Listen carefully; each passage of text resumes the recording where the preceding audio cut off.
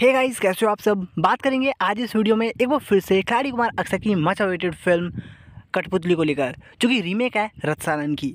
अब बात करें फ़िल्म को लेकर तो आपको पता है फ़िल्म का क्रेज़ क्या है और फ़िल्म ने कितने सारे अजीबोगरीब रिकॉर्ड अपने नाम किए हैं, चाहे वो टॉप पर ट्रेंड करने का हो या फिर एट रैंक पर पोजीशन बनाने का।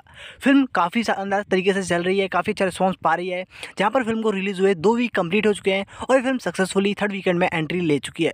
तो चलिए करते हैं शुरुआत और जानते हैं फ़िल्म के कलेक्शन की अपडेट की फ़िल्म कितना कलेक्शन कर चुकी है, क्या ये फ़िल्म ब्लॉकबस्टर हो चुकी है या फिर नहीं। आपको बता दूँ, जहाँ पर इसके डिजिटल राइट्स एक्वायर किए हैं डिजनी प्लस हॉटस्टार ने 135 करोड़ रुपए में, वहीं पर इस फ़िल्म को एवरेज हिट के लिए 150 तो ब्लॉकबस्टर के लिए 200 करोड़ कमाने होंगे, जो कि इस फ़िल्म ने अभी तक नहीं कमाए हैं। चलिए जानते हैं कि फ़िल्म ने कितना कलेक्शन कर लिया है। आपको बता दूँ, इस फ़िल्म को काफ़ी अच्छा रिस्पॉन्स मिल रहा है और आज फ़िल्म को रिलीज़ हुए पंद्रह दिन चल रहा है। और पंद्रह दिन ये फ़िल्म कमा रही है तकरीबन से तकरीबन तीन करोड़ के आसपास, जो कि देखा जाए तो ठीक ठाक कलेक्शन है और कल के कंपेरिजन में तकरीबन ट्वेंटी का ड्रॉप देखने को मिल रहा है, जो कि नॉर्मल है। और यकीन मानिए, आज का वीकेंड है तो काफ़ी सारी फ़िल्में रिलीज़ हुई हैं, जिसके चलते ये कलेक्शन, ये ड्रॉप आना तो नॉर्मल ही था।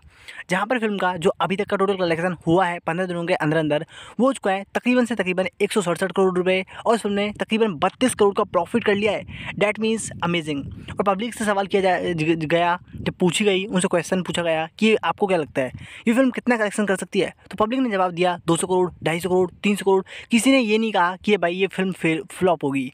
बस एक दो लोग थे नेटिजन्स थे, जो इस फ़िल्म को शुरू से ही ट्रॉल कर रहे थे, उन लोगों ने तो कहा कि फ़िल्म फ्लॉप होगी। बहुत सी चीज़ें कहीं फ़िल्म को लेकर जो कि मैंने एक्सेप्ट नहीं की।